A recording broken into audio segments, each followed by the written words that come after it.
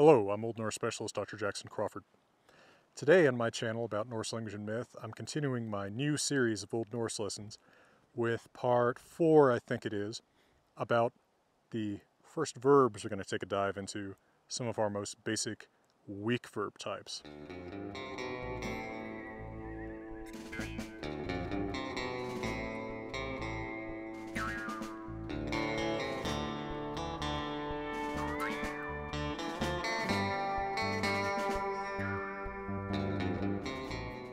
Now, in the scholarly literature about Germanic languages such as Old Norse, Old English, Old High German, even Modern German, you'll find terms such as strong and weak nouns, adjectives, and verbs.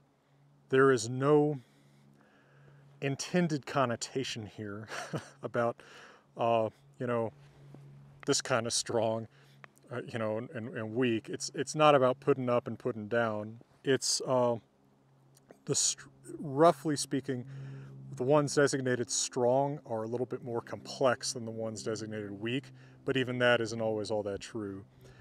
Um, strong types um, include, for instance, the, the noun types that we reviewed in part two uh, of this lesson series. Those are, are strong nouns. There's also weak nouns. But with verbs, it makes sense to start with weak verbs because the system is it's easier to explain starting with the weak ones going to the, the strong ones than vice versa. There are probably, if you, and not even probably, I know that if you count up all the verbs in an Old Norse dictionary, you're going to find more weak ones than strong ones. However, some of the most frequent ones you're going to be dealing with are strong. Nonetheless, there are many frequent weak ones, and I want to deal with those here. So let's talk a little bit about verbs. When you look up a verb in an Old Norse dictionary, you're going to see the infinitive form. That is the form equivalent to in English when I say, I can drive a car. It's the drive right there. Or to be is grand or whatever. It's that be. That, that to be, to do, to hear, to whatever. Now, in order to use the verb, however, you're going to have to modify it. Much like nouns, Old Norse verbs have to be modified depending on what they're doing in the sentence. Now, this is often a little bit more familiar to people today than the noun modifications or inflections are, because many people study Spanish in school, or perhaps are native speakers of a language like Spanish, or, or any number of other languages that do this, where you change the ending of the verb to indicate who's doing what, right? Amo, amas, ama, I love, you love, he loves, um, Old Norse is the same thing, although unlike Spanish and some other languages like Latin, uh, you don't have to, or you do have to actually state what the subject is. So I can't just inflect the verb, I have to have the subject stated too, uh, like you do in French or English. So when you look up a verb and you find that infinitive form, it will almost always end in A.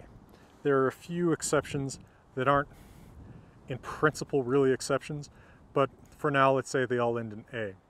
You have to knock off that final A to get the form that you actually add stuff to. So let's start with extremely common verb, mala, the speak. When you look that up in the dictionary, you are going to find it in that form, but you're going to have to knock off that A before you start adding endings. Now, mala, speak, is what I call an I-type weak verb now, this is a place where you're going to find a lot of inconsistency between different instructors and writers uh, as in how we talk about these different classes. I call this I-type. You'll see why. It's because most of the endings in the present aren't I's. And what you're going to see when you look that up, let's say you're looking in the Cleasby-Vigfusson dictionary, which I recommend. It's very old, but still very thorough and comprehensive. You can find it online in many places. You're going to see mala, comma, t, comma. What that T is, is it shows you what the past tense stem is. You're going to add that to the root, which is mal. Knock the A off of the infinitive to get the root mal. Past tense stem is malt. That's what's that's showing you after the comma. And I'll show you uh, how to use this in just a moment here. So what does the present of mala look like? I speak, ek mali. You speak, singular, thu malir. He, she, it speaks. Han, hon, that, malir. We speak. Ver malum. Y'all speak. Ther malith. They speak. Ther thar, thou, mala. So your endings are i, ir, ir, um, id, a. Now, um, id, a in the plural is going to be true for almost all verbs. There's, obviously going to be a few exceptions. There's, there's always exceptions. But um, id, a you can remember pretty confidently for just about every verb. Now, let me also note, we've just recently talked about personal pronouns in this series. If you're using the duals, right, we too, you too, vit, thit, you just use the plural form of the verb. There's no special dual form of the verb uh, like there is in some Indo-European languages. All right, so that's the present. I speak, you speak, etc. What about past tense? I spoke, you spoke. Well, there we have ek malta. Notice we've got that T that we took off the dictionary, right? We add that to the root, and then we add our past tense endings. Ek malta, thu maltir, han, hon, that malti, ver maltum, ther maltuth, ther, thar, thou maltu. So your true endings a, ear, e, um, ooth, oo, added to the past tense stem. All right. Now let's take a different weak verb that's quite common and uh, see if there's something different or the same here. Let's talk about here. That is an Old Norse hyra. Now, I'm not sure I mentioned this in the pronunciation video, um, but it's something people remark on because it's so different from modern Icelandic. I say that EY diphthong, much like the O slash Y diphthong is said in Norwegian, is ui, or I mean, that's as close as my American accent is going to get, right, fellas? Um, just to get ahead of those comments. Um, that is almost certainly what the sound was in Old Norse. Why it's represented as EY is anybody's guess. But in Old Norwegian, right, in the relatively few documents we have from there, these words are written with that O slash Y. And of course, in modern Norwegian Nynorsk, this is written H O slash Y R A, hyra my firm belief is that that's the sound in Old Norse, and, and the modern Icelandic A is a much later uh, innovation. There's no reason why uh, EI and EY would be kept so distinctly separate in Old Norse unless they did have a different uh, pronunciation. You'd expect them to be spelled the same if they were pronounced the same um, by people who were just starting to write a new language in the Roman alphabet. Anyway, höra, to hear. Now, we looked this up in the Cleasby Dictionary. We're going to see höra, comma, id, comma. Now that shows you that unlike uh, mala, where you have a past tense ek malta, with hyra, you're going to add id to the root. Remember the root is what you get when you knock off the a, so you're going to get ek hyrda in the past. Let's make sure we know what that looks like. If you want to take a moment and guess, you can pause this video and think about it. And now I'm going to show you what hyra looks like in its forms, present and past. So ek hyri, I hear. Thu hyrir, you hear. Han höyrir, he hears. Ver höyrum, we hear. Ther höyrið, y'all hear. Ther höyra, they hear. All right, now past tense. Ek hörða, I heard. Thu hörðir, you heard. Hon hörði, she heard. Ver hörðum, we heard. Ther hörðuð, y'all heard.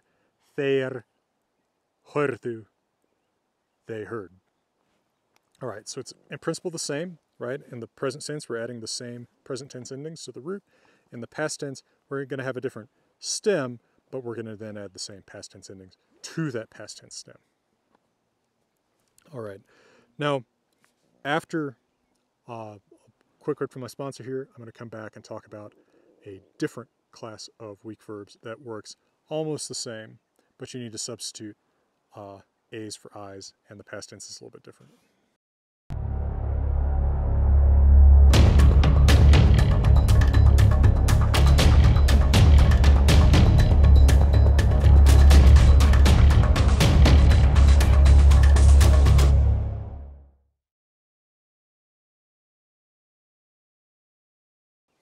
So those are the I-type weak verbs. Mala and höra are very good examples. And don't worry that you're going to find, you know, things where the past tense stem is like a K or a G or something, it's going to be T, eth, or D.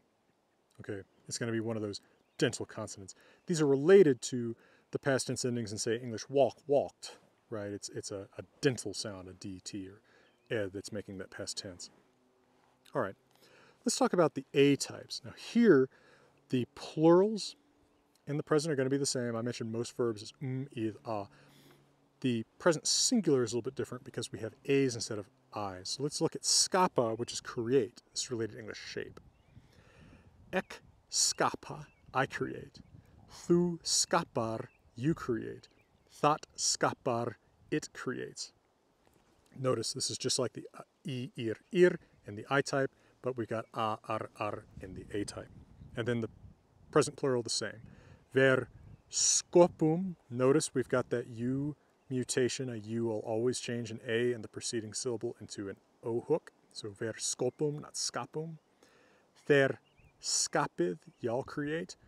Thou scapa, they create. Now the past tense is a little bit different. So when you look one of these up in the Cleasby-Vigfusson dictionary, you're going to see scapa, comma, av. That means that it's an A-type verb. Just the fact that you've got ah, av as the past tense stem ending is, is an indication it's an A type. So what you do here is, again, you knock off the A for the root, and then you just add that past stem ending. So we get excapad, but then we add the exact same past tense endings as we do for the I types. So here we get excapada, I created. Thu scapadir, you created. Han scapadi, he created. Ver scopudum. Now here, what you've got is, all right, of course our rule is that U's change A's and preceding syllables into hooko, but that means that's for a stressed preceding syllable. The second syllable is unstressed. So when you've got an A between the mutating U and the mutated hooko, that A is also going to turn into a U. So skopudum, not skapadum, skopudum. Okay, so ver skopudum, we created. Ther skopudu, y'all created. Ther skopudu, they created. Let's take a look at another one of these. Let's talk about herja, which is to raid. Very Viking verb, right? All right, so I would say ek herja, thu herjar, han herjar, ver herjum. Notice no mutation because there's no a in the root uh, in, in, in, the root of the verb to be mutated into hooko. So ver herjum, ther her id. Typically J's disappear before I's. And ther herja. Past tense, ek herjada, I rated. Thu herjadir, you rated. Han herjadi, he rated. Ver her, herjudum. Now, here, notice that the U in the ending is still mutating that A that comes before it in the ending, uh, but it's not going to mutate into a full hooko because it's not the root syllable. U's in endings always change A's in the syllables before them. If the A is stressed, it becomes hooko. If the A is not stressed, meaning not the first syllable in the word, it just turns into another U. So ver herjudum, we rated. Ther herjudud, y'all rated. Ther herjudu, they rated. So there again, if you look this up in the Cleasby Dictionary, you can see heria, comma, ad. That tells you right away this is an all-type verb and its past tense stem ends in All right. I'm going to give you some exercises about this, and I'm also going to give you a few more vocabulary items for your flashcards or however you're learning vocabulary. Here are your vocabulary items. These are I-type weak verbs. I'm going to give you quite a few. You're going to see these pretty often. Mala, speak. Höra, hear. Brenna, burn. This is transitive. I burn it, not I am burning. Fylgja, follow. Senda, send. Nevna, name. Trua, believe. Yota, agree to. accept. Föra, bring. Then, for A types, learn these. Skapa, create. Herja, raid. Sigra, overcome, defeat. Harna, harden. Kalla, call, call out to. Now, that's quite a few. These are all quite common, and since, of course, we're going to be starting with um, some readings from Snorri Sturluson's prose edda. Some of these have particular um, mythic uh, overtones in the in the sections. We're going to start reading from that once we get to our readings, a few units hence.